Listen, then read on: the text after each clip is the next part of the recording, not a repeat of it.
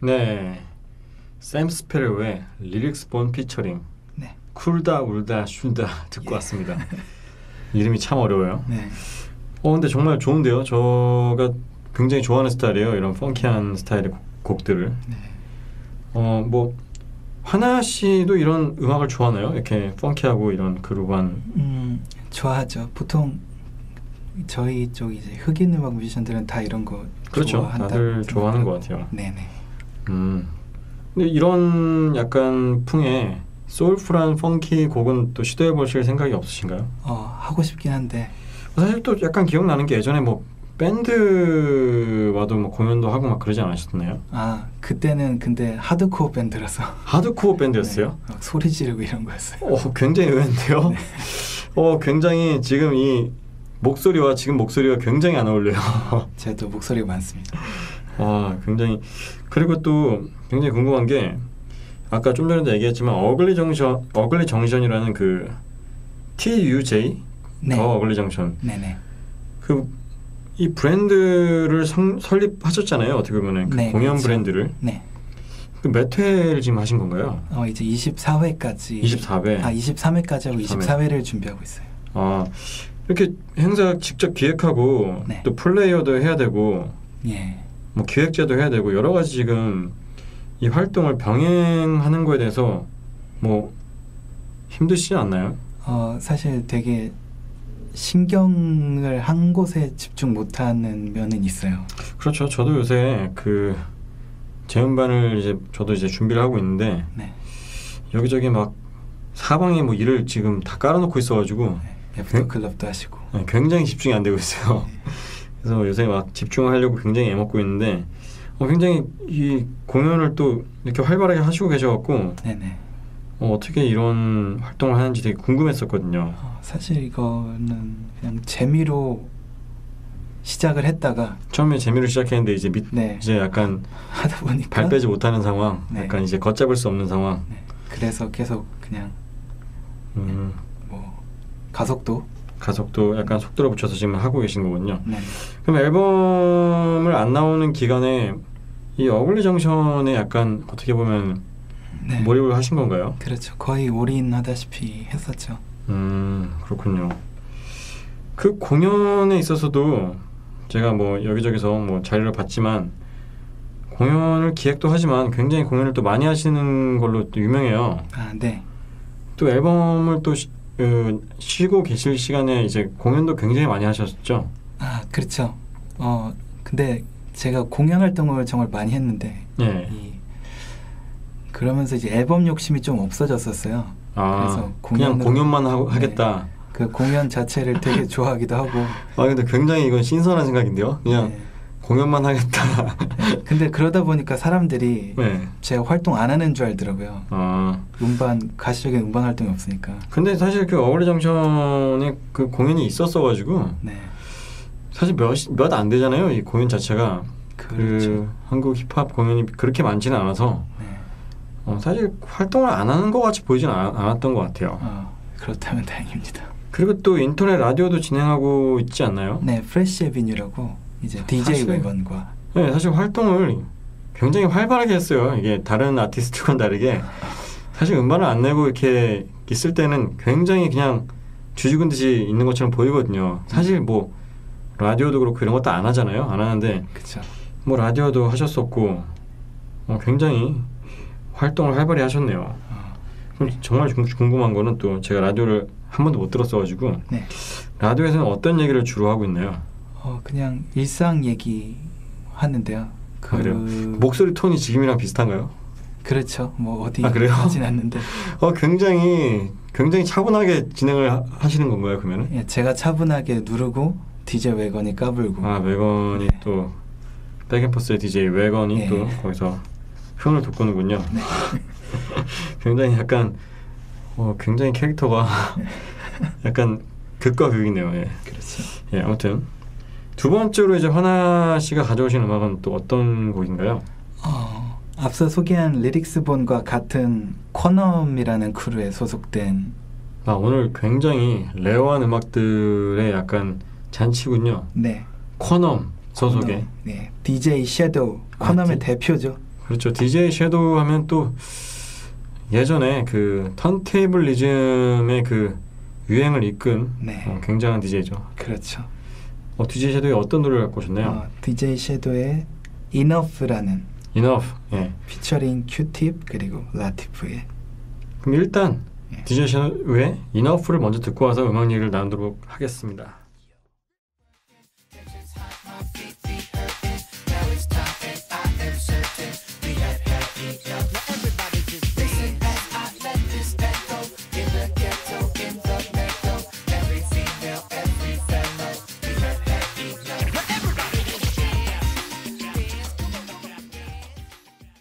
네, DJ 섀도우의 Enough 듣고 왔습니다.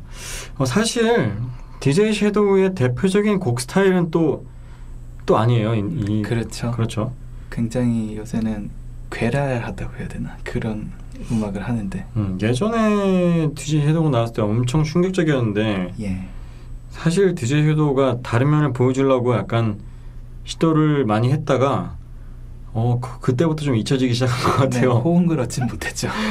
사실 그 그 또 한편으로는 참 잘하는 거는 정해져 있는 것 네. 같다는 생각도 또 들기도 하고 사실 잘해요. 다 다 잘하지만 네. DJ 섀도우가 엄청난 아티스트긴 하지만 어 개인적으로는 사실 팬적인 팬으로 입장으로서는 이- 저는 일집의 그 스타일을 너무 사랑했어가지고 그렇죠.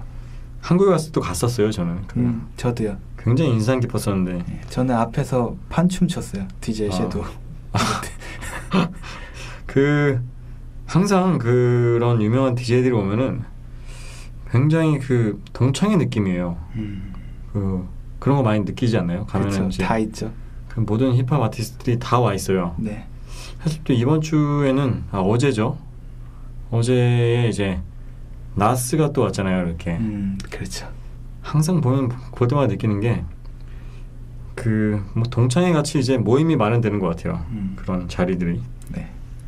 뭐 그 그 DJ 섀도우 같은 음악을 화나 씨는 뭐 어렸을 때부터 이렇게 좋아하셨나요? 네, 굉장히 좋아했어요.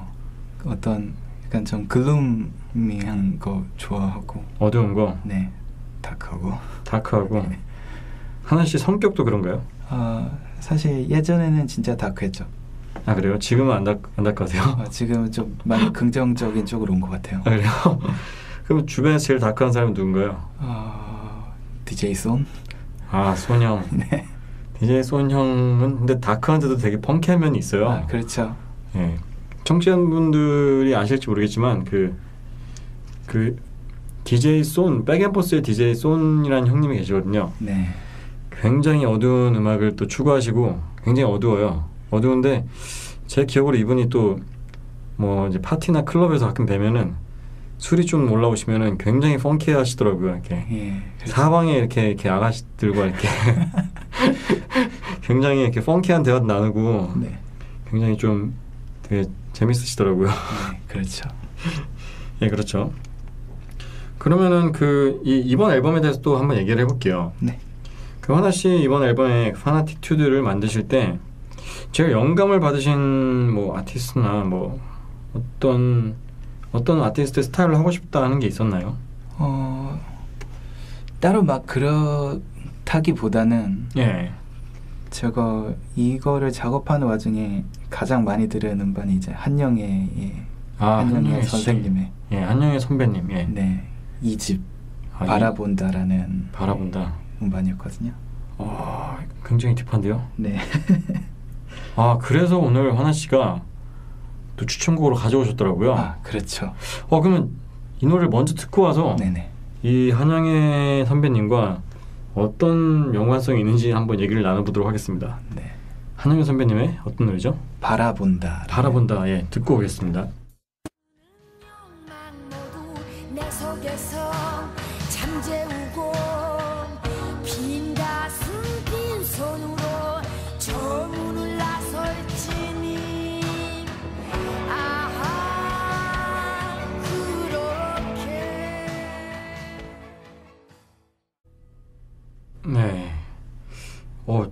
정말 예술인데요. 네. 마지막에 바라본 어 정말 멋있는데요. 마지막 그 하얗게 불태우는 그 느낌이 너무 좋아요. 아 혹시 그 약간 이런 대목도 혹시 앨범에 있나요? 어, 바라본다라는 대목은 아니 없죠. 대목 말고 약간 이런 약간 그 앨범 마지막 그 음원으로서는 마지막 트랙인 그 내가 만일의 음. 마지막 을 아 저는 이걸- 들었어가지고 리, 네네. 리믹스 버전을 제가 들었었거든요. 아 그렇죠 11번 트랙 11번 트랙 내가 만일 예, 마지막에 사실 이런 느낌을 의도한 건 아니고 약간 전소하는 느낌을 내고 싶긴 했었어요. 이런- 세월의 강에서 네. 만 번째 날. 네, 그렇죠. 어 이걸 어떻게 어떻게 하시나요? 그래서 만 번째 날 하면 delay가 먹으면서 뭐 이렇게 되는 거죠. 아 그렇군요. 그럼 한영애 씨의 그 이 집 앨범을 들으면서 어떤 면을 영감을 많이 받으신지 진짜 궁금해요 개인적으로는. 음, 뭐 이런 어떤 그 감성 바이브라고 해야 되나 그런 거에서 제가 사실 음. 그렇게 막 다양한 감정을 갖고 사는 사람은 아니었는데 네. 이 앨범에서 나오는 여러 가지 음.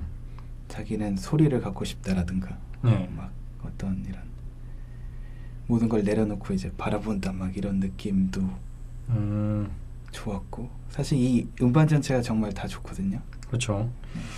그 사실 좀 그 예전에 한대 선배님도 그렇고 한- 한영애 선배님도 그렇고 그 색깔들이 엄청나게 세세요. 그렇죠. 음반을 들으면은 진짜 무슨 술을 뭐 한 한 잔 마신 것처럼 굉장히 취하게 되더라고요. 이게. 그렇죠. 마력이라고 해야 되나? 마력이 엄청나게 끌리더라고요. 약간 이런 마력적인 면을 약간 어, 영감을 받으신 것 같아요. 제가 보기에. 네, 본받고 싶어요. 아, 굉장히 근데 이건 이분들은 제가 막 가끔 이제 사진이나 그 라이브하는 영상을 봐도 약간 노래를 안 하고 있을 때도 이게 뭔가 포스가 있어요. 이게 그렇죠. 그냥 그 범상치 않은 인물이라는 약간 네, 약간 그 마력이 있더라고요. 사진만 봐도 이게 빨려 들어가요. 이게 네 맞아요.